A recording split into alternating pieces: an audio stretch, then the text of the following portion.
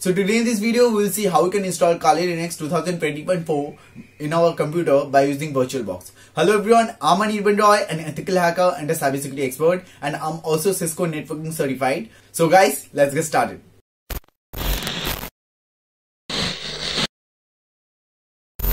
if you don't know then let me tell you my previous channel got deleted by youtube and that channel uh, got really great content like uh, about hacking phone hacking wi-fi tracking locations tracking passwords and many many many stuffs. So make sure to subscribe this channel and follow me on all my social media accounts and also join my discord account because i'm going to re-upload all those videos over here. So now without further talking let's get into your computer and see how we can install it. Okay, so to install Kali Linux, first we need to download. So come to Google and uh, type here Kali, uh, Kali Linux download and uh, go to this first website kali.org. This is the official website of Kali Linux. And uh, if you uh, directly type the link, then you have to come to this download folder. And over here, you'll get all the ISO images of the Kali Linux like this. You can download any one like this is 64 version, this is live and uh, this is 32 version you can download anyone if you have torrent then you can click on this torrent and download the torrent file and download the file or you can click here to directly download the image from the browser. So i have already have this so i'll not download so i'll cancel this. Okay. Now the second thing we need is virtualbox. So again come to google and search for virtualbox download. And uh, over here okay so this is the first website uh, virtualbox.org this is the official website so just open it. And from here you can select your operating system. Like if you are doing this in windows select this one. If you are doing in mac os select this one. So just click on it and this will start downloading. I will i also have this so i'll not download this. So okay now we are done here. So after downloading and installing this uh, virtualbox then we can open virtualbox and it will get a dashboard like this. Okay so basically if, if you see over here i have lots of uh, machines and images over here. So let's create a new one. You will not have all these things because this is my personal machines. And uh, from here just uh, select new. And uh, here you can give any name. For example uh, i'm giving Kali Linux 20.4 so okay now if now from here if you want you can change the machine directory folder or you can keep it as default. Now if you type here linux uh, what then this will automatically select linux option. Don't change it. Obviously this is linux. So now from here the version. Version uh, i'll recommend you uh, you can use this one as well okay? But i'll recommend you to use the Debian because this is the Debian Linux. And if you're using 64-bit image then say choose the 64-bit one. And if you're using 32-bit image choose the 34-bit one. I have 64-bit image so I'll click on this. Now from here just specify some RAM according to your machine. And uh, over here select uh, this will be automatically selected create a new virtual disk and just create uh, select create and this will just confirm all the information. And uh, over here you need to give the size like uh, uh is the storage or hard disk I can say uh, how much how much size you want to give uh, to the machine space. So I gave it like 15 GB it's more than enough. So like let's create. Okay so we uh, successfully created the system over here but till now we haven't add the software over here. So select it and then click on settings. And a window will pop up like this. Now uh, best thing you come to advanced over here and uh, from here click on this option like choose this option. What this will do this will help you to copy paste all the files uh, from your host machine to your virtual machine and from virtual machine to your host machine. Like from windows machine to this one okay environment. Now uh, if you come to system select network because obviously we need network right? So from here you can you can uncheck this floppy. Nobody use floppy nowadays okay? Uh, disk uh, so time you can if you want you can uncheck this. Doesn't matter. Actually it doesn't matter. Base memory you can select okay processor okay i'm keeping it as default uh, as it is. If you want you can uh, increase it. Video memory you can increase. Nothing is required over here. Now this is very important guys. In storage here you will see uh, it's written empty. So just click over here and uh, just uh, go to this option and from here select the file. So uh, just choose choose the image sorry so from here choose the file. So just uh, it's in my download folder. So just from here select it. And to okay and uh, everything is set. Okay in network setting uh, make sure this is enabled and this is enabled by default. And uh, uh, NAT is totally fine, but uh, if you want to do penetration testing and other things, and uh, and if you want your system to be connected with the, your local machine or host machines, then you can select this bridge adapter. Like this is pretty good. Uh, anything, whatever you feel like. Uh, like let's keep it as NAT, whatever it is.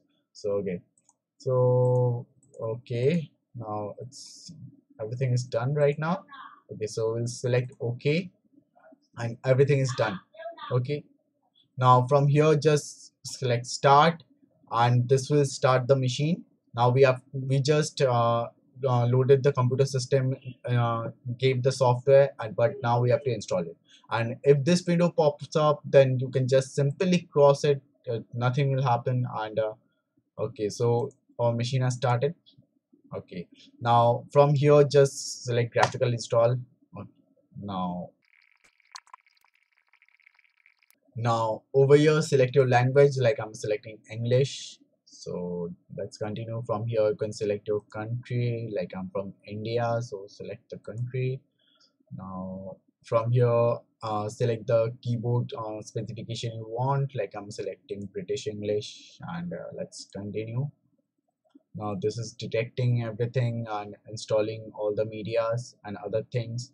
Now this is mounting the image right now now this is actually uh, adding all the other additional dependencies over here.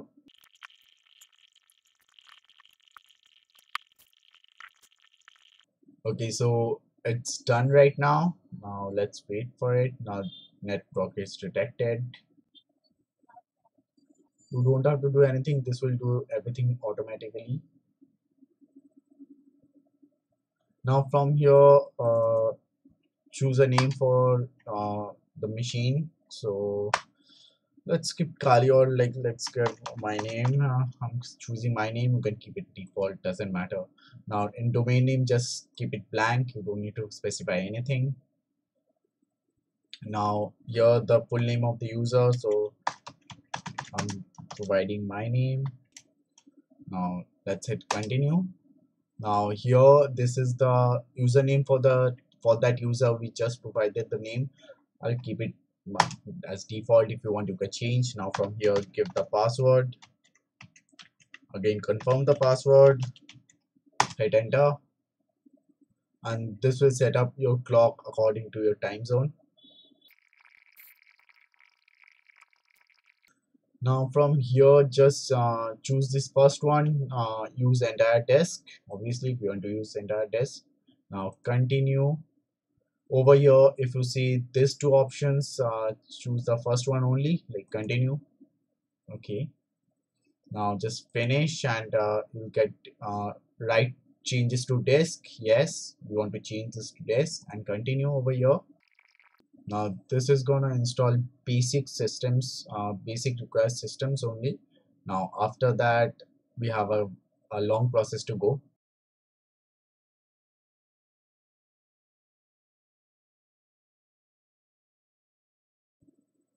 okay so this is done and uh, now this is configuring all the app. Okay so this is a very long process guys. So it need to uh, install the software. So we have to select the softwares over here. So let's wait for those options. Okay so over here you can select all the all this but this will take a hell lot of time so if you want you can just uh, uncheck anyone if you may like or something. Uh, but it's okay. Recommended tool it's default. Yeah obviously we want that so i'll continue. Now this is gonna take a lot of time like 20 minutes or 30 minutes depending on your pc and your internet speed. So i'll just fast forward it and skip the part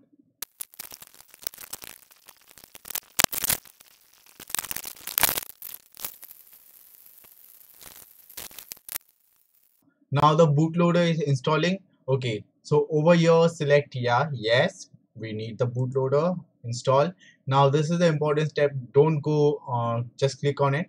Select this one okay? Select the second option and uh, then let's continue. Okay now the bootloader has installed. Now it's already done. This was the final step guys. Now our option will pop up and we'll select continue. That's it. The installation will be finished okay if you see here the installation is finishing right now.